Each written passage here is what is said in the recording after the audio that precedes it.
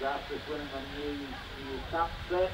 Racing now, pretty good start. Nanny Char Char, one of the best out, going very fast out wide. Nanny Char Char winning the front about two lanes. Uh, bet you will run to second, it up by Arla. Below by Potter, not getting well back. Left nose for that. Uh, Nanny Char Char speaks away down the lead about three lengths in front. Uh, running second, Bet you all about four lengths to the back. Below by Luke Serrano, going and three under. Other by Copper Light. Good boy, Chandler, still well there. Nanny Char Char's got a shot.